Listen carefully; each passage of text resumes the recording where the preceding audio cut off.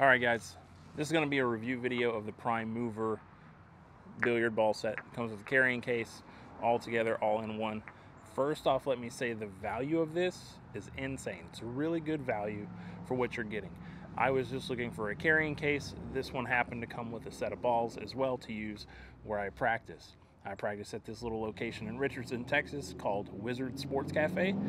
You can bring your own balls if you have a set, or you could use theirs, which most times leads to using a lot of bar balls or bar box table balls that have been repurposed.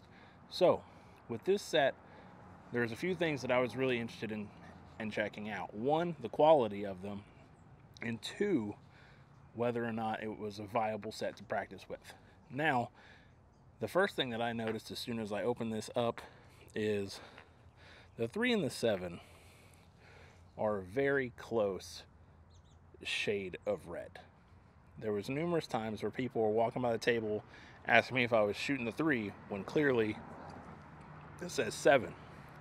Now, a lot of the bar tables where I play at pool halls, 7 is maroon. The red 3 is red. So this gets a little confusing at times, whereas this is more of a brick orange, this is the red. So easy to figure out once you're on the table, but as it is, it's just kind of a rough go on that.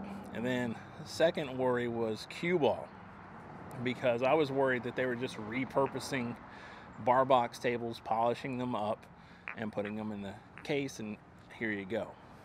The cue ball is probably the biggest concern I have on this set because appearances and putting this next to my Aramith coin op ball, this looks like a coin op cue ball.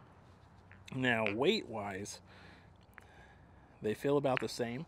I don't have a scale that measures in grams or ounces, but this is notably heavier than this one.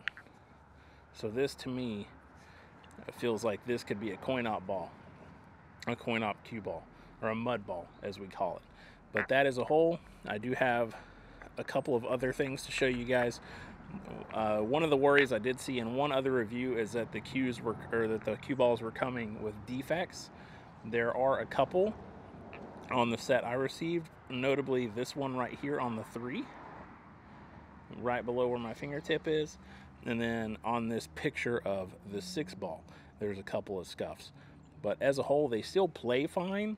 But whenever you're thinking about how you're getting the case with a carrying, or the set of balls with a carrying case, the value of that automatically overshadows any kind of minor defects you'd have. These still played fine. I shot with them about seven hours today, and they shot really fine. I did switch out this cue ball and started using my Aramith cue ball with it, and I had, and they shot perfectly fine. No issues whatsoever.